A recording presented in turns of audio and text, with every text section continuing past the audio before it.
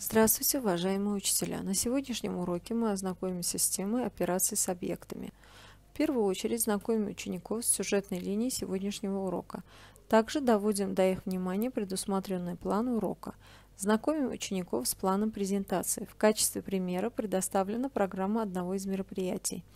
Обсуждая это с учениками, подготовьте вместо, вместе презентацию.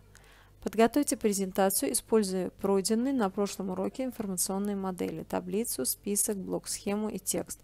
Следующие две программы ученики готовят самостоятельно. Затем заходят на платформе, в задании 3 записывают название слайдов предусмотренной части и нажимают на кнопку «Отправить ответ». Загрузка готовой презентации на склад обязательно. Во второй части урока знакомим учеников с предусмотренной для этой части планом урока. Для того, чтобы слайды были более визуальными и интересными, можно использовать изображение. Существует несколько способов добавления изображения в слайд.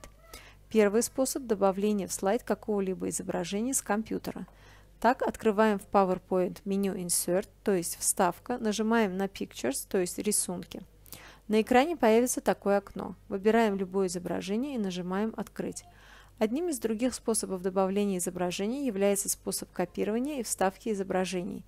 Этим способом вы можете скопировать любое изображение из различных документов или других презентаций и вставить его в свою презентацию. Этим способом вы также можете скопировать и вставить в свою презентацию любое изображение из интернета.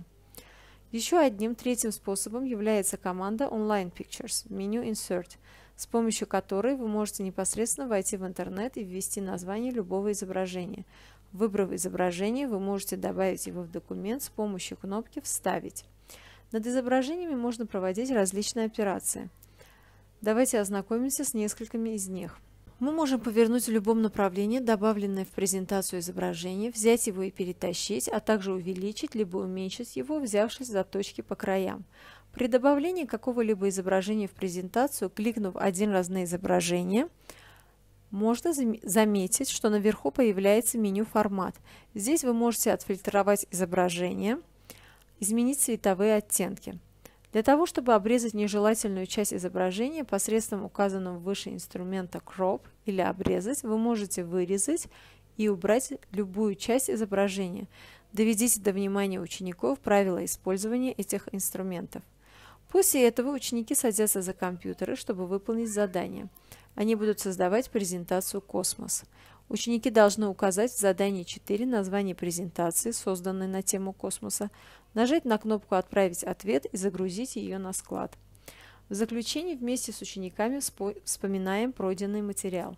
Попросите их озвучить разновидности операций, которые можно проводить над изображениями. На этом сегодняшний видеоролик подошел к концу. Благодарим за просмотр.